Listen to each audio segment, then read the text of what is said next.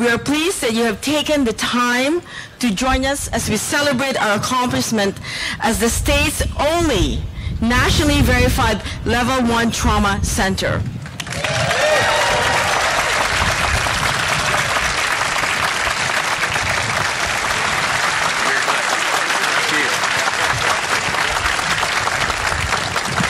Thank you all. It's my pleasure to be with you today. This is indeed a very special occasion to celebrate your Level 1 trauma certification.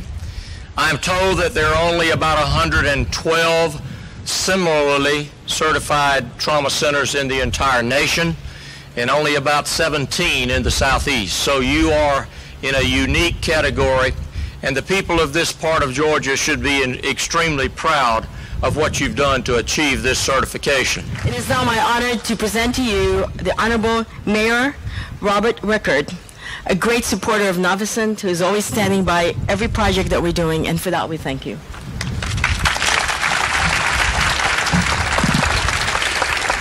Dr. Saunders, thank you very much, and thank you for, for allowing me to have just a, a, a word or two on this program. Uh, as we here in, in Macon-Bibb County continue to build the hub city of the Central Georgia region, we know that health care is one of those issues that must be addressed on a regional basis. When you're involved in a, a critical trauma event, there's a limited window of time uh, for your treatment to be effective. Um, and a level one uh, trauma center uh, has the breadth of specialized services available 24 hours a day, seven days a week, and 365 days a year. This is an incredible medical resource uh, for the people of Macon Bibb County and indeed uh, for the people throughout uh, the central Georgia region. It is now my pleasure to introduce you to you the chairman of our board, who is my partner in crime, Star Purdue. Thank you, Dr. Saunders, and thank you, Mayor Reichert, as well. Uh, at Navicent Health, we pride ourselves in setting the standard for world-class care. The highest caliber of care is especially critical when traumatic injuries occur.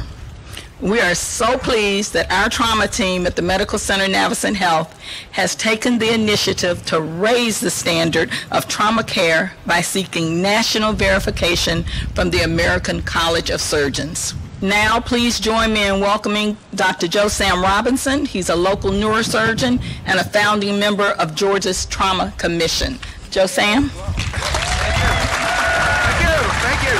Thank you. well, thank you. It's uh, it's great to see so many familiar faces here, and I, start. And, I, and I'd like to just personally thank you for all the work that, that you do here. I know how difficult it is, how stressful it is to deal with the docs in emergency situations. So pl- please accept my apologies for anywhere we've gone over the line. Uh, out there. But we, we have a, we're all part of the same team, which is trying to look after sick people. It's an extraordinary work that's done here. People come from everywhere. They land in helicopters uh, on top of this building. Every day we're in the, the middle of a life and death situation. It's extraordinary good work that's done here. So I really, really want to thank you and keep up the good work. And now, Dennis, having that small introduction, maybe you could come forward and say a few words.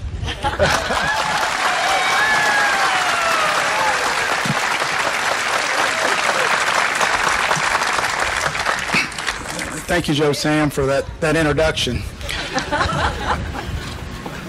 In 1993, Dr. Martin Dalton, who was chair of surgery at that time, had a vision and put together the first trauma team, the first organized trauma service here at Navicent.